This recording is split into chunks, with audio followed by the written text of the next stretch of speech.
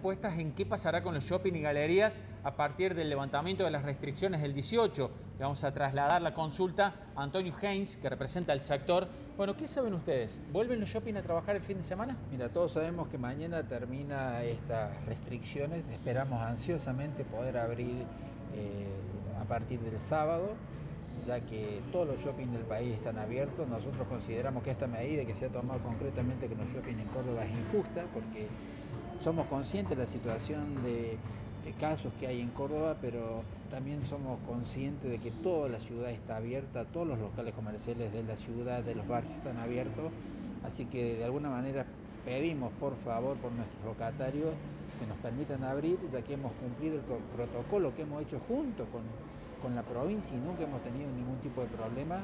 Eh, realmente tenemos mucha esperanza. Esta mañana hablamos con el secretario de gobierno de la municipalidad, Miguel Siciliano, y él también nos manifestó su, su, está de acuerdo con que abramos, que revisemos de último los aforos, pero que él está totalmente de acuerdo. O sea, sinceramente no entendemos por qué los checkpoints de Córdoba están cerrados.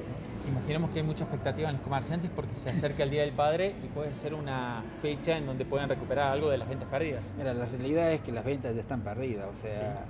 Eh, todos los locatarios han hecho sus previsiones de mercadería, de gente, eh, de promociones. Nosotros como shopping también tenemos un montón de promociones, regalos que hemos tenido que suspender todo porque no tenemos la certeza de cuándo vamos a volver a trabajar, ¿no? Y, realmente es muy difícil poder manejar una empresa, ni te cuento los locatarios que están eh, con la esperanza de, de, vender, ¿no? Pero lo que quizás yo creo que por un lado los locatarios están muy preocupados por la falta de venta, por no poder trabajar, pero también están muy molestos con el tema de la injusticia que existe hoy en día de que esté todo abierto menos los centros comerciales. ¿no?